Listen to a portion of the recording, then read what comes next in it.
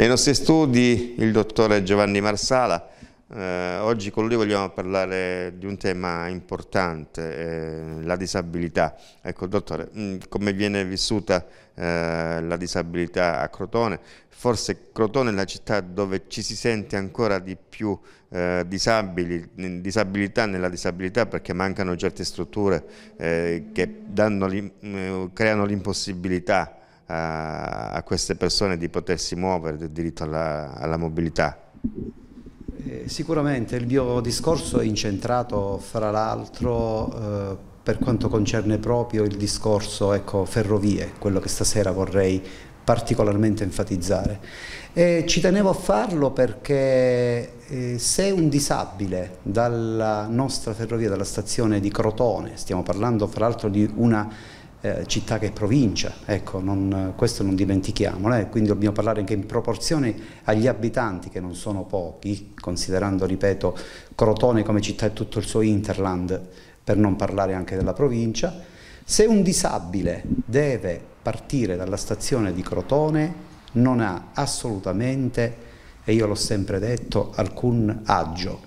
manca di eh, molti vantaggi e almeno nella sofferenza dovrebbe viaggiare in maniera comoda e mi riferisco soprattutto ai disabili veri e propri che sono impossibilitati proprio alla deambulazione molto spesso per ovvi motivi e, e, a prendere un treno.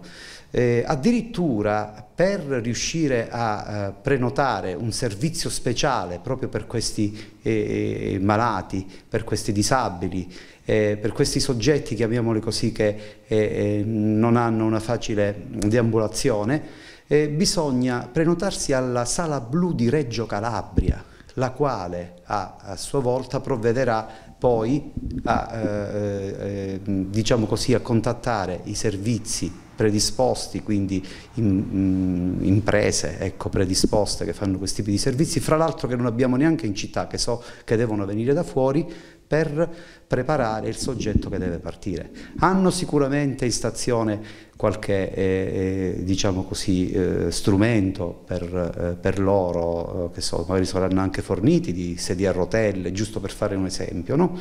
però eh, poi ci vuole, o, o quant'altro, qualsiasi altra strumentazione, ma poi ci vuole anche chi è l'addetto ai lavori, e non abbiamo certo in città da fonte certa, so che devono venire fra l'altro anche da fuori per preparare tutto questo. Ora io mi riferisco innanzitutto alla possibilità di poter fare per tutti questo tipo di servizio, perché eh, mettiamo degli anziani, mettiamo della, della gente che non è pratica con le prenotazioni, pratica a farla via internet, pratica a, ri a, rivolgersi a chi di dovere perché non sono proprio informati, non c'è la dovuta eh, informazione su questo. Quindi cerchiamo di facilitare le cose e venire incontro a queste persone da un punto di vista organizzativo, ma facciamolo anche da un punto di vista fattivo questo tipo di discorso. Mi veniva di pensare anche eh, al fatto di come una volta i nostri disabili siano in stazione, come fanno per esempio ad andare da un binario all'altro, se consideriamo che appunto sono disabili, non hanno eh, alcuna deambulazione, dovremmo creare degli ascensori anche nei sottopassaggi. Ora sicuramente eh, qualcuno penserà abbiamo già tanti di quei problemi, la stazione è degradata non è una stazione di primo livello, nonostante tutto, ma io invece dico che questo devono essere punti di partenza, devono essere punti importanti per valorizzare la nostra stazione, la nostra viabilità, la nostra città, perché non è solo, ripeto, Crotone, ma è anche il suo interland, è anche la provincia. E se la gente sa, se in giro si sa che alla stazione di Crotone abbiamo anche questi servizi, tante volte uno è anche incentivato a fare certe cose. Quindi guardiamolo come un punto di crescita, e, e mi veniva appunto di pensare anche al fatto che uno vuole i treni speciali quando ancora qua ci rivolgiamo agli autobus, insomma. Beh, chiaramente eh, il problema lo deve risolvere Trenitalia, però possiamo dire che c'è anche la parte politica che si, si interessa, non va ad insistere perché quella palla tra, l'Italia e i politici è un, è un rimbalzo tipo ping pong. Faccio l'esempio anche se non c'entra niente, esco un po' fuori tema, dei cavalcavia. C'è Trenitalia che insiste sui politici per creare questi, questi benedetti cavalcavia ed eliminare i passaggi a livelli, quando poi i politici invece fanno orecchi da mercante perché probabilmente non, non c'è un tornaconto eh, per le amministrazioni che si trovano a gestire. La stessa cosa potrebbe essere anche per creare le strutture per i disabili, i treni, i marciapiedi, eccetera.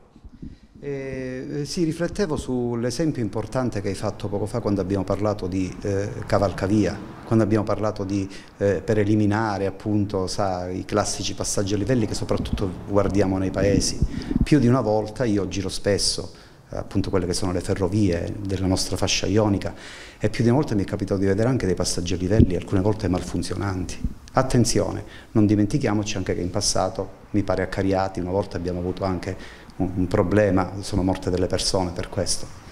E il rimbalzo della palla in questi casi da Ferrovie dello Stato ai politici che non vogliono sentire fanno il gioco delle tre scimmie, io non mi vergogno di dirlo molto spesso, eh.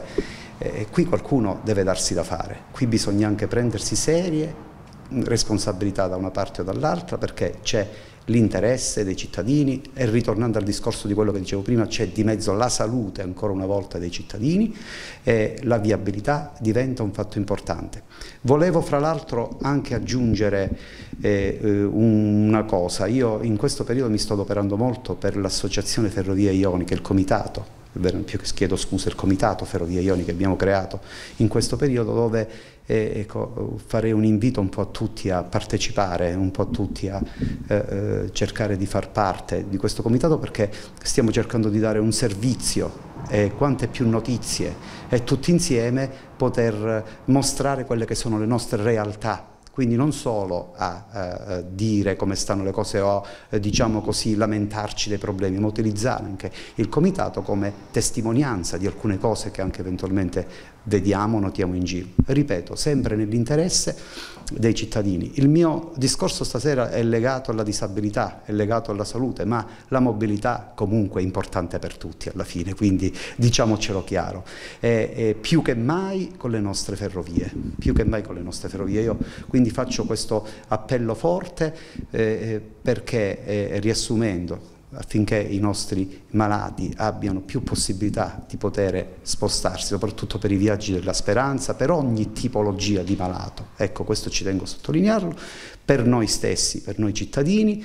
E concludo anche il mio discorso evidenziando il fatto che i nostri politici, Ferrovie dello Stato, è un appello che faccio, un appello corale, detto in maniera serena, Ecco, prendete a cuore questa situazione, cercate di venire incontro e trovare una soluzione, perché almeno per i bisogni primari della salute, almeno per questo, non stiamo a chiedere nulla di che, ma eh, le cose importanti, necessarie, almeno queste, diamole a questa fascia ionica così abbandonata a partire da Crotone. Dottore Massaro, un, prima di chiudere eh, brevemente, eh, voi avete fatto eh, con eh, delle associazioni dei sit-in quest'estate, mi pare siano stati due,